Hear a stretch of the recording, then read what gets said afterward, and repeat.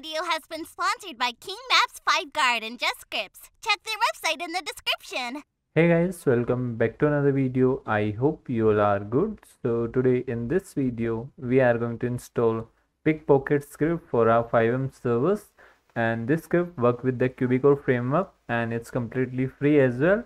So if you like this script, you can definitely install it in your server. So I will mention the link in the description box. So first you need to go there and we have a script from nc hub. So let's download it from here.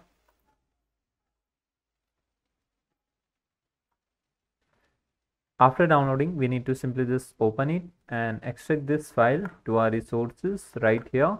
Then we need to simply just rename it and open it.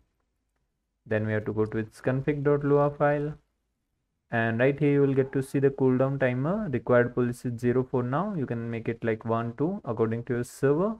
This is the minigame speed. This one is inventory type. You can use qbox or custom inventory as well.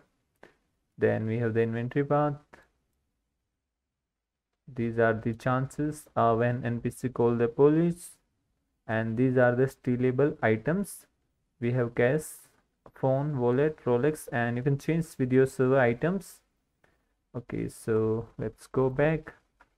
Copy the script name. Go back to the server. And now we have to do refresh ensure and the script name.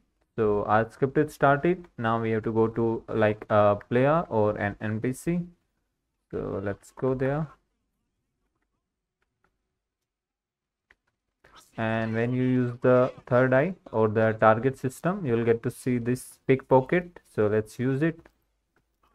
And as you can see the pockets are empty. So let's use it with this one.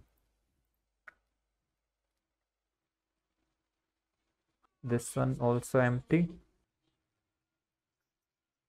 So you'll get to see this type of minigame and the item will show you like this. So we need to like use it here in the green type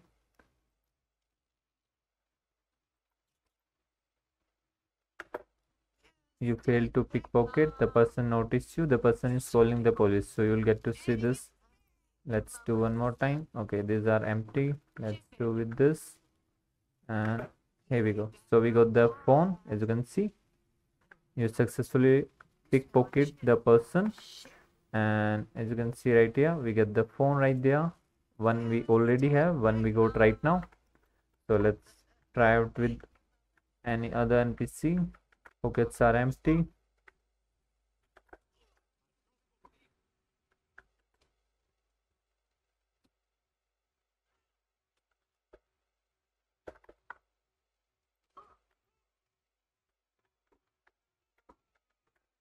They will try to kill you as well. They, they become aggressive sometimes so be careful about that.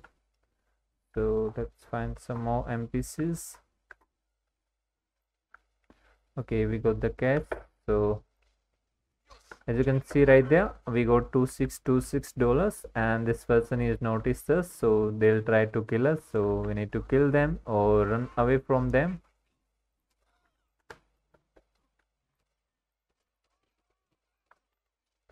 So this is how this pickpocket script work. You will get to see a mini game the items. So definitely you can try out this in your server. It's a nice script to like use so if you like this script make sure to comment down and let me know. So till then we will meet you in the next video. Take care. Have a good day